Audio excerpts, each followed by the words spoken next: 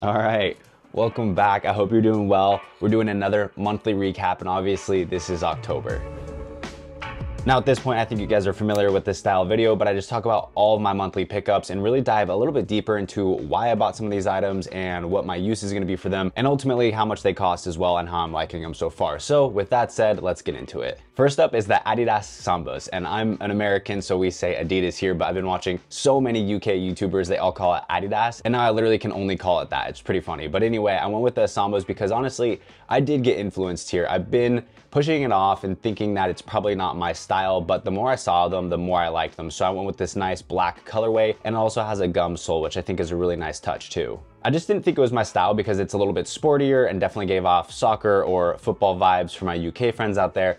And I just didn't really think that I could style it properly, but I'm actually super happy with it. I picked these up for $100 from the Adidas employee store, which was pretty cool. And I really am excited to be wearing these with a lot of casual fits. I think pairing them with something like a sweatpant is a really nice look. And that's something I'm gonna mention later in the video as well as a piece that I picked up. But overall, I'm just actually really happy with it. I don't have buyer's remorse here, even though I felt like I was stretching my comfort zone a little bit. I'm super excited to be wearing these shoes. They're pretty comfortable and I'm getting a lot more use out of them than I honestly expected that I would. Another shoe I picked up is the Birkenstock Boston. And again, this is kind of a shoe that I got influenced with, but I bought the Birkenstocks, the regular ones, the Arizonas, about three or four months ago. I posted a monthly recap about those, and I was just shocked how much I loved them. So then I saw the Bostons and knew that would be a great fall and winter shoe. And again, honestly, I'm just blown away by the comfort of them. I think they're absolutely amazing. And I do personally think that the looks of these shoes are great. You know, some people don't really love them, which I can certainly understand. You know, not everybody's gonna like the style of them but I think they're super cool. And yet again, just another pretty casual shoe. But, but even we went out to dinner last night and I paired them with a pair of pants and a nice hoodie. And overall, I still thought it was a great fit. Now these were about 160 bucks, I think. So definitely a little bit pricey, but they're gonna last you forever. And I just went with the black color to play it safe because I don't have that many black shoes in my wardrobe. So I knew this would be a great addition for the fall. So far, so good. No buyer's remorse on either of those items. And I'm just really loving them as new shoe additions. Another item that I'm always talking about is the Abercrombie vintage inspired tees. And they finally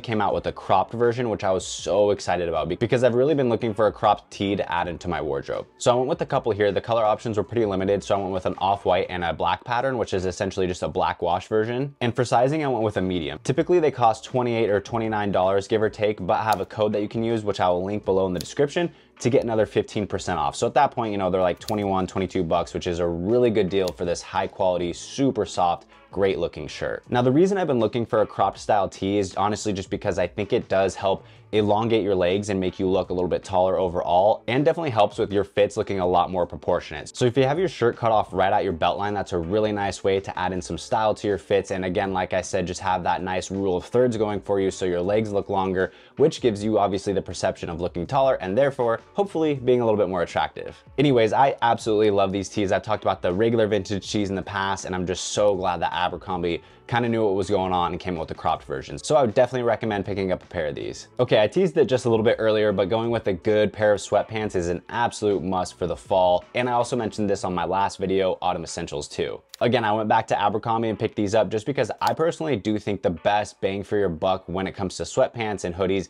is Abercrombie. They fit great, they're really high quality, and most importantly, they're extremely comfortable. I just went with a nice heather gray because I think it's the most timeless look. It's super classic and girls kind of like that look in the fall. So I definitely would pick up a pair if you're kind of looking for a pair of sweatpants. I think this is a good option to go with, and they have a ton of different other color options as well. I also went and got the Lululemon Relaxed Tapered Trouser. Now you might be saying that sounds familiar. I know you've talked about that before but I loved them so much that I had to go and get a black pair. I have some black wash denim, but not a straight black pant, surprisingly, in my wardrobe, so I knew this would be a great addition because just so many times I find myself being like, wow, I really do need a, just a plain black pair of pants. Now, one little thing that I do is I take advantage of Lululemon's free hems. So I do go in and get it hemmed about an inch. So there's a natural crease at the bottom of the pant that I'll show here, but that's exactly where I tell them to take off about an inch at the bottom.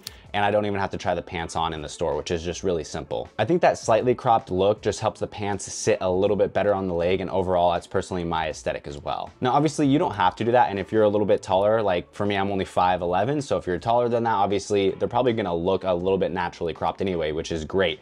And if you're shorter than that, obviously, then you can just crop a little bit more off. So keep that in mind if that's your style. I think that's a great path to go down. But yeah, these are not cheap. They're $128, but I've had the Nomad color for well over a year now And just again, with anything with Lululemon, you know you're getting absolute great quality and you're paying for the fit and they're gonna last you a really long time. So yes, while they are really expensive, you're not gonna have to replace them pretty much ever. And even if they do need to be replaced, Lululemon will just do that for free for you. Trust me, I've done it before. Another pant I went with is the Abercrombie workwear jean, and I'm not gonna harp on it too much because I've mentioned it in so many videos, but I'm really just trying to put everybody onto them.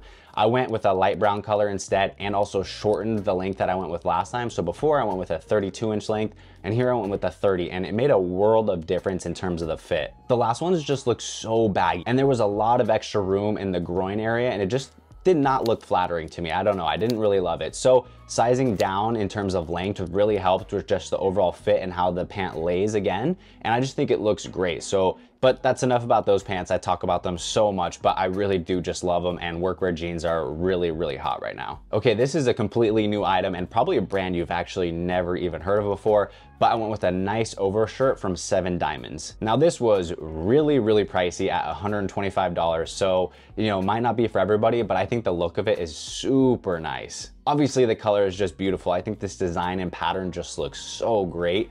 But more importantly than that, the quality is really, really impressive. That's what Seven Diamonds is all about. I think they're pretty comparable, honestly, to Lululemon in a lot of respects. But again, I do think this is a super unique piece. I get people asking me all the time on some of these other platforms, where am I getting these overshirts? So I would definitely check them out. If you do have the money for it, I highly recommend it and you will not be disappointed with the comfort and quality of this piece. So I recently took some engagement photos at Cannon Beach here in Oregon. It was absolutely beautiful, but I needed a nice sweater. So I went over to J. Crew and ended up getting a cashmere sweater. Now you know me, a beige baby, I played it safe and just went with a nice like cream beige sweater, but I just went that path because it's super simplistic and I knew no matter how long I have it, hopefully for many, many years to come, since it is more of an expensive fabric, that I'm not gonna get sick of the color and you can never go wrong with just just a nice neutral. Now I opted for a large here and I'm glad I did because after I washed it, even on cold, it did shrink just a touch, more so like around the, the thickness in the arms. It just makes me look a little bit more muscular. So I'm not too mad about that. But I do plan on wearing this a lot as a dressier piece and also just would be a great addition for layering too. So if you're looking for a great sweater, I highly recommend this one. Again, it is pricey, but cashmere is one of those items that is just so high quality. It's insanely soft. It's I, I, feel a little bit bougie, honestly, having this piece of clothing. All right, but on the other end of the spectrum, if you're looking for a more budget-friendly option, I would go with a crew neck sweatshirt from Target's brand Goodfellow. It's insane to me that these are only $20. They're super soft, and one call out that I do have is obviously Typically, more times than not, you do get what you pay for, but I think this is the best bang for your buck item from Target's brand. It is slightly thinner, so I wouldn't wear it as like a standalone piece, but to use this as a layering item would be great. Or if it's just a cooler evening, you could still get away with wearing this. But what I do love about it is the fit is just great. Again, it's extremely affordable and it's really, really soft. So I do love this piece, honestly. I think it's extremely worth it, especially only for $20. And I needed some more nice crew neck sweatshirts for layering. And this is an item I mentioned in my fall and winter jackets video, but it's the Carhartt Detroit jacket. I cannot rave enough about this item. I honestly went to Dick's Sporting Goods just to try it on and see how it would be and maybe get it and use it for a video and possibly return it because a lot of times I do like to try things on for my TikTok and everything like that. But once I actually tried this item on immediately, it was one of those things where I was like, great. Like I'm, I'm going home with this. So I did, and it's $120, which honestly isn't too bad. And for Carhartt, again, I'm, I'm just shocked with how nice the quality is. I talked about it a lot in that video, so I'm gonna keep it brief, but I would highly recommend it if you're looking for a good overshirt jacket. And we're gonna jump back to Target's brand Goodfellow and go with the heavyweight flannel. And this is only 35 bucks. I mentioned it again in that jacket video, but it's just a great piece. And again, for only $35, like why wouldn't you add this to your wardrobe? Heavyweight flannels are nice just because they have a little bit more structure to them. And I think they look a little bit more elevated than just your typical Joe Schmo flannel. So I like that. And also the patterns that they offer are great, but this one in particular definitely is my favorite. Now I can definitely say more items than not have not been shown on this channel at all, which is really cool. And I hope you guys like that as well. I try to obviously add in a lot of things that are new to you. So it's not repetitive in any way for you guys, but I do still like to recap some of the stuff you've seen from past videos just because I feel like it's a little bit different of a perspective than me just saying, you know, why this item is so cool and this and that and you know really having it be just a totally different video concept. So that's why i still include them in this type of video and i hope you guys do appreciate that. I'm not trying to like repeat content or anything like that but I just like to give you guys my full perspective on it. And this is usually kind of like the place where I can do that because it's more of a vlog style and it's definitely different than my other videos. So, and you guys seem to like it, which I think. So hopefully you guys continue to do so. Please give it a thumbs up if you do feel that way and comment below. Obviously, I'd love to engage with you guys, answer any questions you may have or anything like that or just let me know how you're doing. Honestly, I appreciate that too. And other than that, as usual, guys, I will see you on next week's video.